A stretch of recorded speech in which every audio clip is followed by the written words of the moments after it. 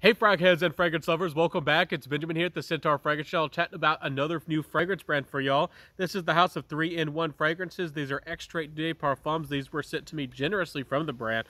Wanted to see my thoughts and wanted to see if I would give them a little a little video and of course, I was happy to oblige them and try out these fragrances and see what they were all about. So first off, um, these some of them are clones. Uh, uh, a little bit, this is Black Smoke here. It's from Black Phantom. Honestly, this one is a little bit more well blended. It's a little bit more sweet, but it's actually a little bit better, almost composed, well-rounded, maybe even richer than Black Phantom. And y'all are going to be surprised. For the money, for the value, I actually like Black Smoke better than Black Phantom. I do. I don't know why. It makes me feel bad. It makes me feel like I'm I'm saying I'm doing a naughty thing. I'm doing something bad. But uh, the quality off this, guys, is actually nice. It almost has some nuttiness. It has that dark patchouli. It has the vetiver and the dry down.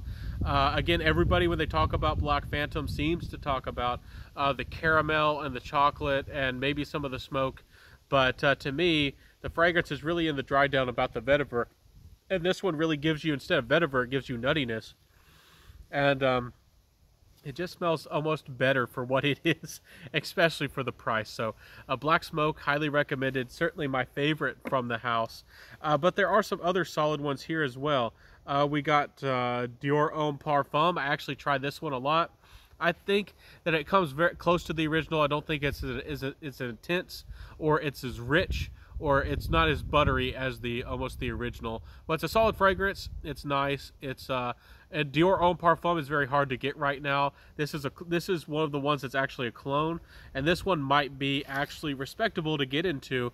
Um, if it's really hard for you to get it, I actually want a bottle of Dior Homme Parfum, but I'm not going to pay 250 bucks for it, and it's hard to get. It's a nice fragrance, and I've always thought Dior was a little bit too expensive for what it was, and now the prices are higher, even higher. You used to be able to get a bottle for about 150, uh, but now it's about 250, and you have to get it shipped and all that business. So. Anyways, this one's not as good as the original, but can it get you by? Yes, this is actually a little bit more versatile. You could probably wear this a little bit easier in everyday situations.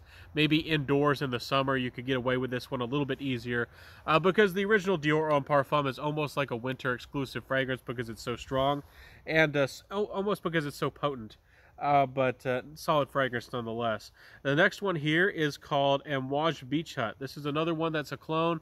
Um, I thought it was a fine, the fine, but I don't think this one is very close. To me, I get a little bit more of a citronella, almost that, uh, almost more of like a, a, lemon type of vibe. It does have vetiver. It, uh, if you're not familiar with Beach Hut Man by Amouage, yeah, a lot of people, especially like who like that dry, airy, uh, hay-like vetiver.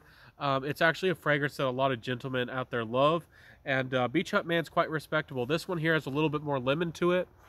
Uh, to me, it smells a little bit more grassy instead of vetivery, and it's not a bad fragrance. It's just, I don't know. I, I wasn't terribly excited about the original. This one doesn't excite me either.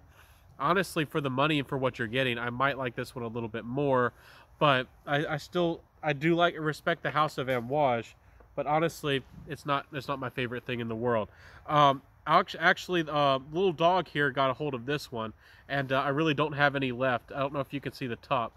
The dog got to this one, and this was uh, LV Afternoon Swim. It actually was a really nice fragrance. It reminded me of vanilla vibes uh, from uh, Juliet Has a Gun and uh, so it's very lemony. It has almost a synthetic freshness to it, and it has a really playful vanilla in the background. So really nice fragrance. It might remind you of things like uh, Chanel Allure Homme Edition Blanche. It might do that for you. And uh, this is actually a really nice fragrance, guys. I like how this fragrance comes together. I like the quality. I like the blend. Uh, it's, again, this is kind of a clone house, so it's not the most natural. But for what you're getting for the quality coming out of this juice, actually was kind of impressed with the quality. I was expecting really bad quality, and not only is it not bad, but actually smells pretty darn good. So, not I was surprised about that one. The last one is called Fresh Fade. I'm going to spray this one on my jacket here to test it for y'all, but I actually didn't get this fragrance.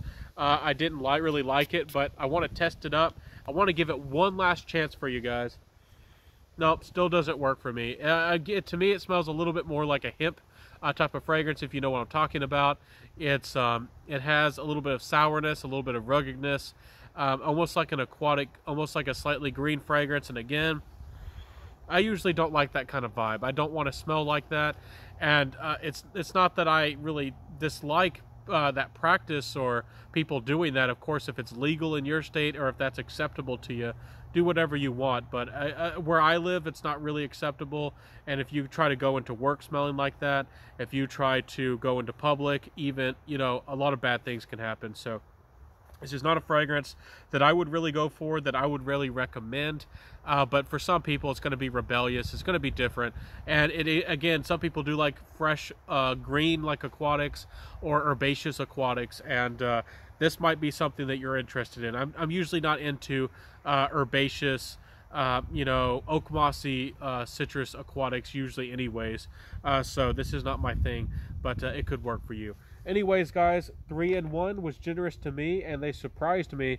Uh, this this little fragrance here, Black Smoke, has made it so I will probably never buy Black Phantom. Actually, I wasn't really intending on buying it anyways, but I'm really not now. I'll see everybody. Have a beautiful day. Clone houses help you save some money. Uh, clone houses can work uh, you know, some people think that they're unethical. I'm not getting into that, but I'm putting it out here for the people who do want to save a buck and uh, do want to explore the world of clones and the world of fragrance on a budget and get very close, very similar uh, to the original smell for a lot less money. It, you know, clones might be your thing. So, really nice house, three and one, probably worth checking out. And uh, surprised at what they did, surprised at what they were able to pull out of the bag on me. So, uh, I'll see everybody next time. Have a beautiful day. Where would you love? If you stuck by to the end of this video, you probably like my content. So why not help me out? Like, comment, subscribe, hit that notification bell, share the video, and tell a friend. I'll see you next time, everybody. Where would you love? And I'll see you in the next video. Peace out and bye.